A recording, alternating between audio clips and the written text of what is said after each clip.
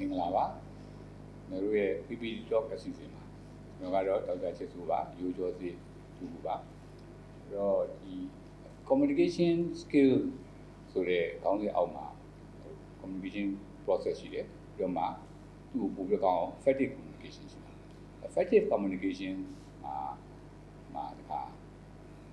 content ရဲ့ process ရဲ့ perception ရဲ့သုံးမျိုးထပ်တော့ဒီဒီပြောတော့မှာဖြစ်တယ်အဲ့တော့အခု process ဘိုင်းပေါ့နော် process ဘိုင်းမှာ communication ကို effective ဖြစ်အောင်ဘယ်လိုလုပ်မလဲဆိုတာအကြောင်းလေးမှာတော့မှသင်လို့ရှိရင်ဒါအမြဲတမ်းထည့်ပြောသင်ပါတယ်အဲ idea ကကောင်းတယ် coding ကလည်းကောင်းတယ် group ကလည်းကောင်းတယ်ဒါပေမဲ့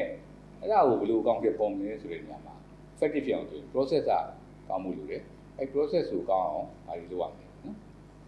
အဲဒီမှာ idea encoding group အဲ့ဒီဟာတွေဒီ ဘက်ကလည်းသူက decoding interpretation feedback အဲ့ဒီသုံးခု6ခုသွားနေစမှာအဲ့ဒီဟာကိုချုံးမှုအောင် process ကဘယ်လိုသွားသလဲထည့်လို့ရမယ်အချက်ကလေးတွေနော်အဲ့ဒီတွေကိုဆွေးနွေးမှာဖြစ်အဲ့တော့ဒါကကျောင်းဒီမှာသံပွဲစစ်လို့ရှိရင်လေ communication စစ်တယ်နော်လူမှုစက်ဆံရေးစစ်တယ်ဆိုလို့ရှိရင်သူတို့ချက်ပေးတဲ့အားလေးရှိပါတယ်ဒီမှာပေးတဲ့ချက်လေးမှကြည့်လိုက်လို့ရှိရင်ဒီမှာလို့ရှိရင်ပုံမှန်ပြောတာတော့ဒီနေ့ကိုနဲ့ပြီးဆက်တယ်ပေါ့နော် အဲပြီးလို့ရှိရင်ကိုကြောင်ပြောတယ်သူကြောင်ပြောတယ် privacy ရှိတယ်တရားရတယ်အဲဒါမှမှ eye contact ကရှိပါနော် eye contact ကြီးကြီးတဲ့ကြောင်နော် active listening နော်နားထောင်တာမှာမှ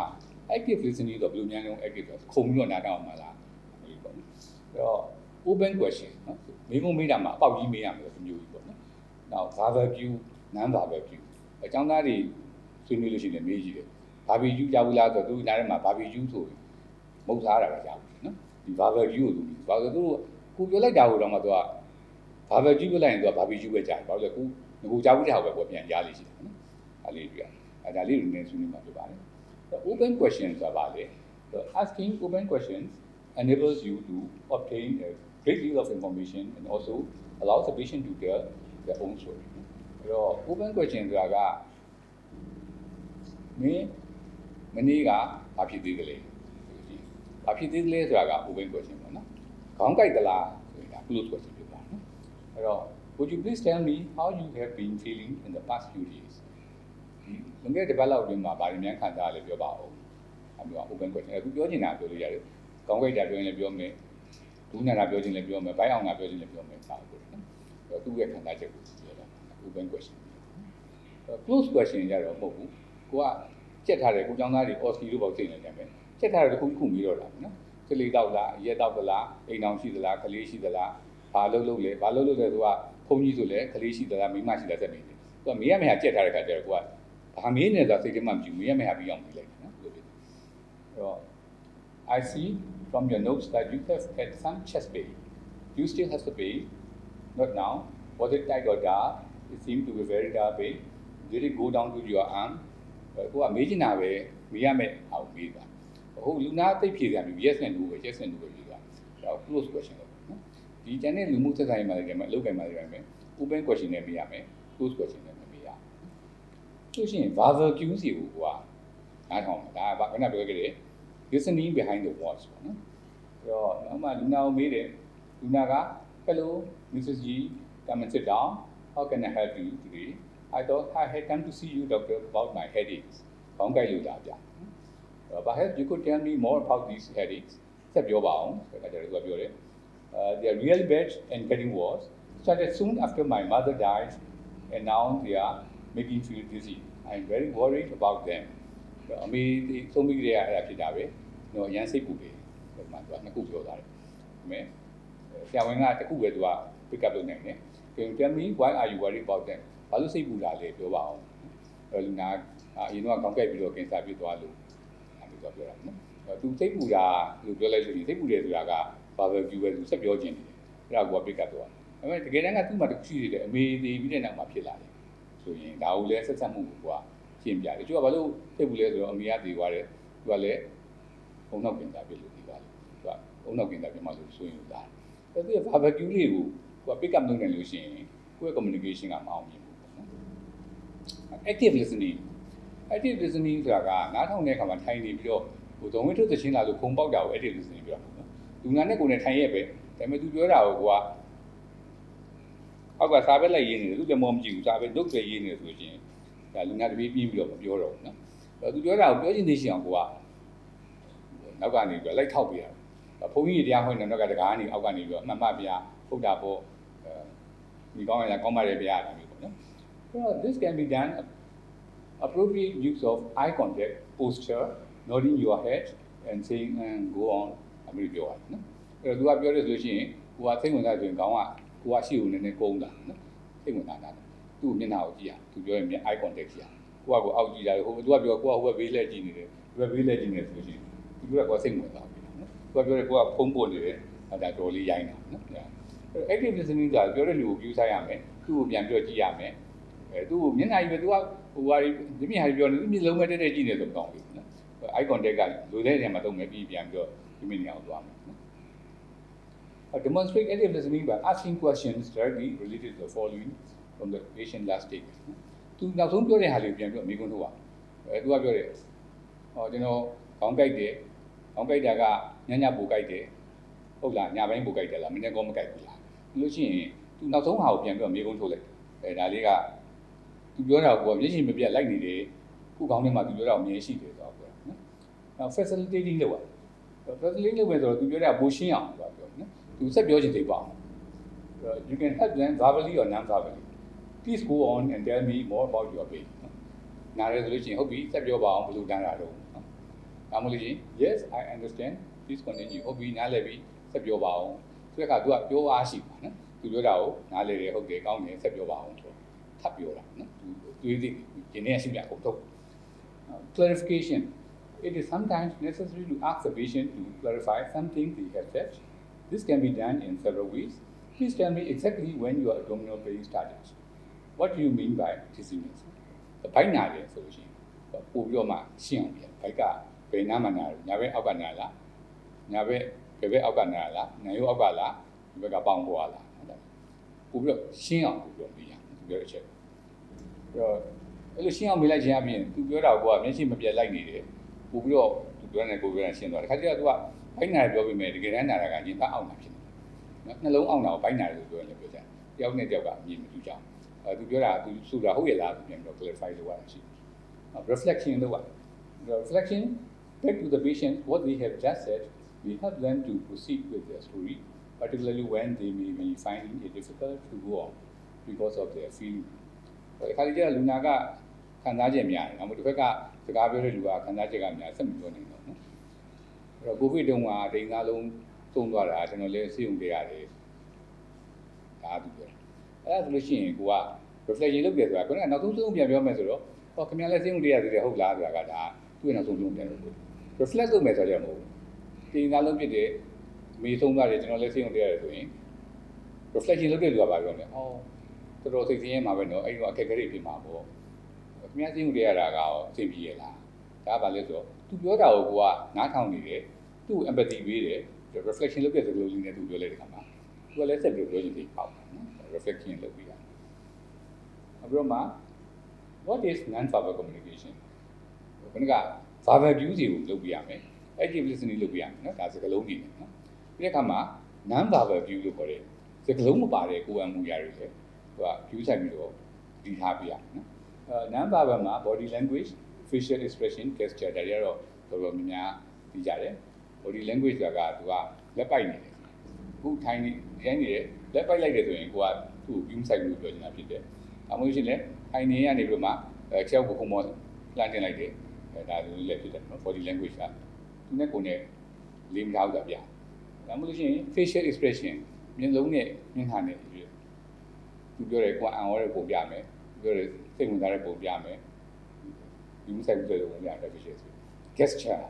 ကိုယ်နေဟန်ထားပါလိမ့်ဗျာနော် okay အောင်မြင်နေတာလည်း gesture ပေါ့နော်ဗျာအဲဒါလေးတွေလည်းဗီဒီယိုလေးနဲ့လုပ်တာရှိပါတယ် psychologist တွေကနေပြီးမှဟိုကြည့်ဖို့ဆိုပြီးတော့လုပ်တာရှိတယ်နော်အဲ့တော့ဒီ non verbal clues တွေကကြည့်လိုက်လို့ရှိရင်အဲသူတို့ကခုနကပြောတဲ့ verbal clues တွေဆိုင်ရင်70%က non verbal clues တွေကပို့ပြီးတော့မှလူပြောရဲ့ ဆိုလိုချက်ကိုပေါ်ပြအဲဒီ view site ပြီးတော့မှလေ့လာဖို့လိုတယ်အဲသူကကိုယ့်ကိုကြည့်ရတာကိုယ့်ဘက်ပဲငေးနေလားဟိုဘက်ငေးနေတယ်ကိုစိတ်ဝင်စားဘူးကိုပြောတဲ့သူကောင်းနေမြောက်နော်အဲဒီလိုရှိတယ်တဲ့အဲဒီခါကျတော့ posture သူကထိုင်တာကကြည့်လိုက်လို့ရှိရင်ပုံမှန်တက်တဲ့ထိုင်လားမတက်ရတာတက်တဲ့ထိုင်လားတစ်ဖက်ကြီးဆောင်ပြီးတော့နေသလားဟို relax ဖြစ်နေလားတိုက်ဖြစ်နေလားနော်ဒီနေ့ဆိုလို့ရှိရင်ပူတင်စကားပြောရဆိုလို့ရှိရင်သူဒီသူကလက်ကခုံဆုပ်တယ်နော် ညနာကြောက်နေမလှုပ်ရဘူးပြ